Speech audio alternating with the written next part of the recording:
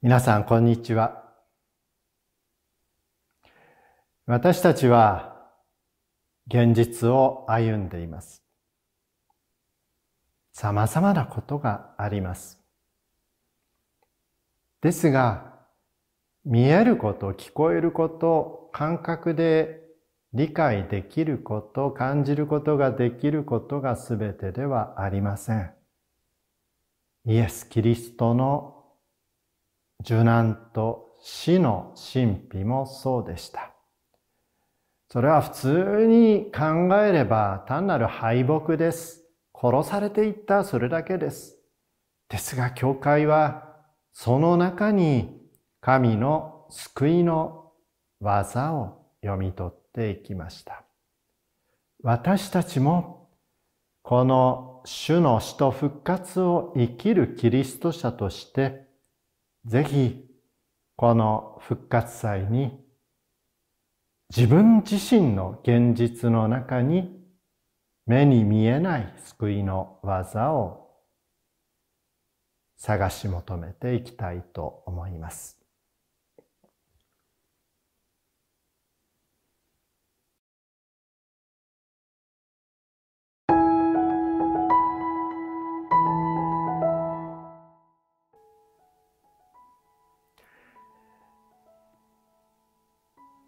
皆さん、今回もこの動画を視聴いただき、ご視聴いただきましてありがとうございます。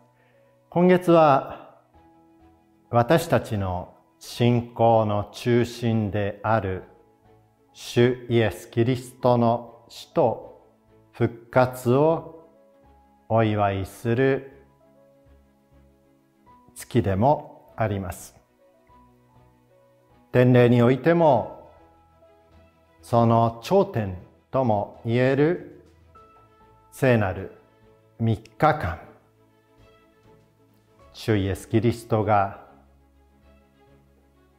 最後の晩餐を行い逮捕されそして裁判にかけられ十字架刑に処せられて殺され埋葬されそして3日目に復活する。さらには弟子たちや他の人々にもご自分を表してくださった。そのことを祝う期間です。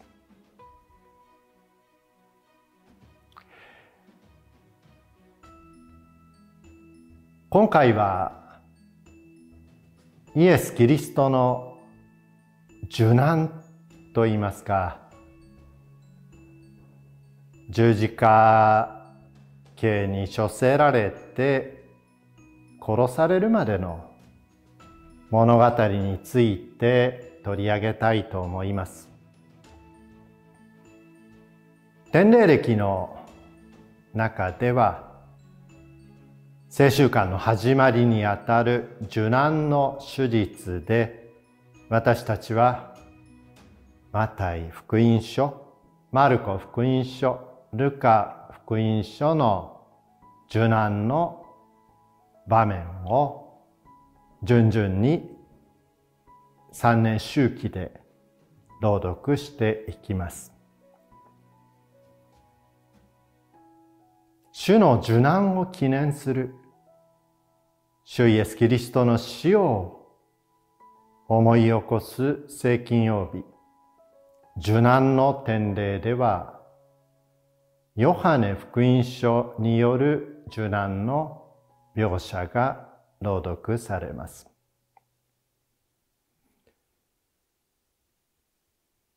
書かれてあることは現実として淡々としたものです。イエス・キリストがユダの裏切りによって捕らえられ、そして連行され、裁判にかけられ、最終的には十字架刑に処せられて亡くなったていく。という物語です。しかし、ヨハネ福音書は、この現実の物語を描きながら、同時にそこで一体神が何を成し遂げようとなさったのか、それを読者に問いかける形で記していきます。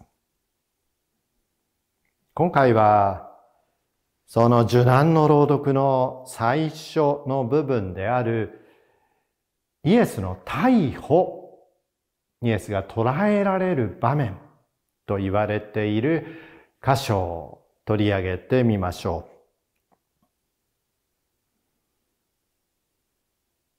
ユダとその一行がイエスを捕らえるためにやってきます。最初に言葉をかけるのは、捕らえに行った側ではなく、イエスの方です。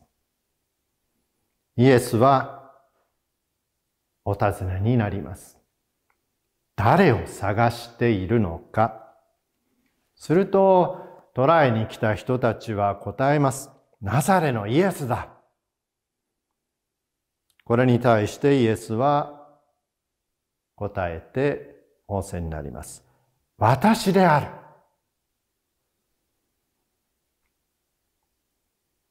これ淡々とした語り口なんですけどね、皆さん。その場面を想像していただきたいんです。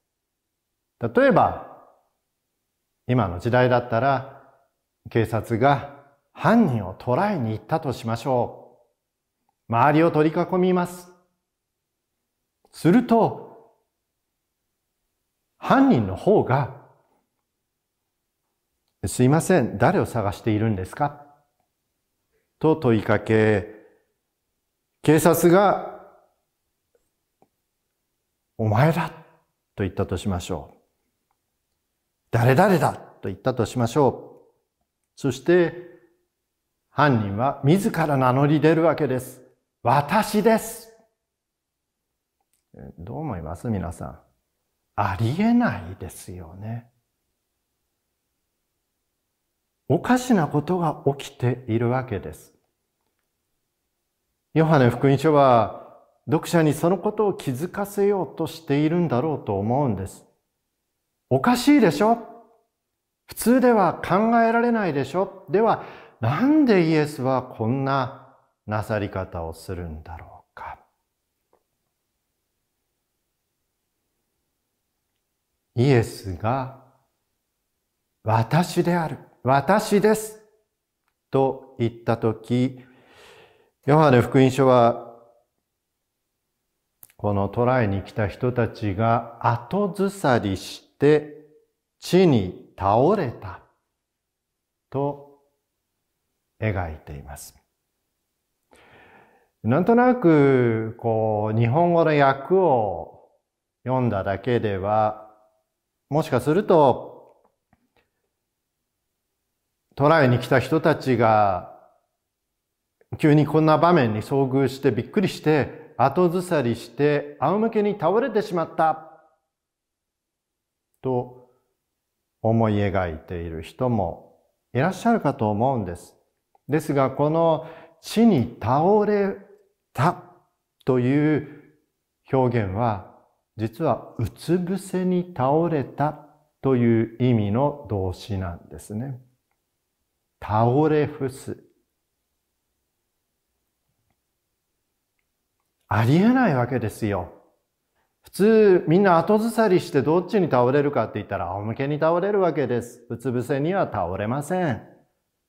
ところが、ヨハネ福音書はうつ伏せに倒れたと記すわけです。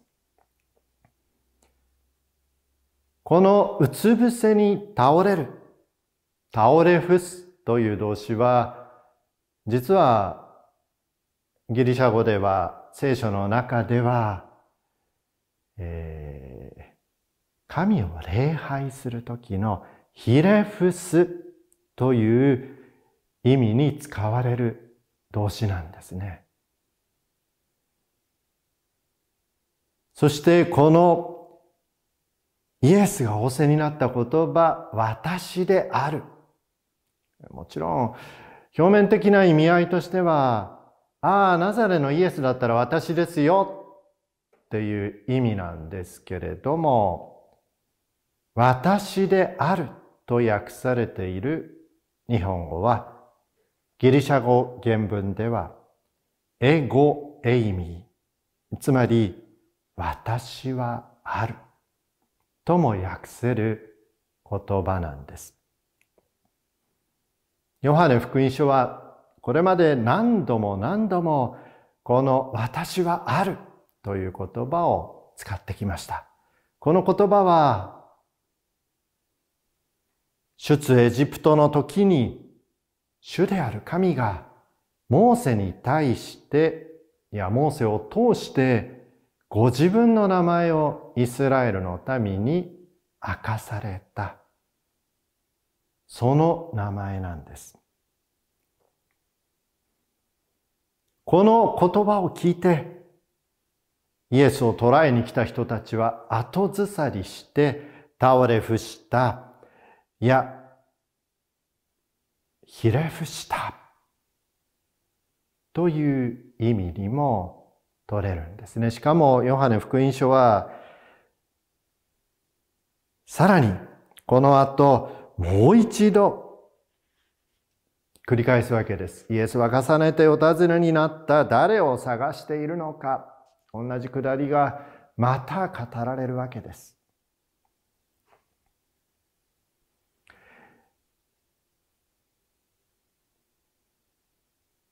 目に見えること、耳で聞こえること、肌で触れること。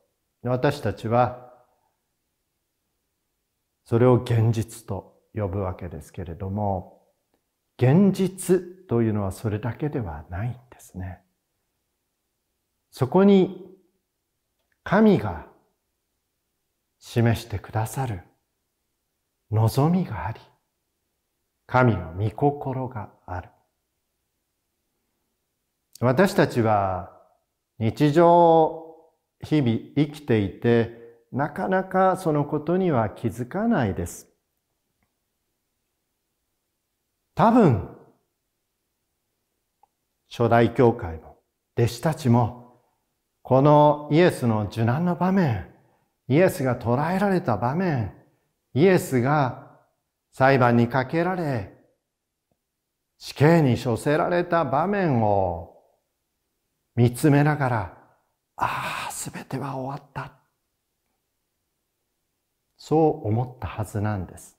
ですが、神がこのイエス・キリストの受難と死を通して成し遂げようとしてくださったこと、それを時間を通して少しずつ少しずつ深め、感じ取っていったのだろうと思います。私たちの現実の歩みの中でも理解できないこと、うまくいかないことがたくさんあります。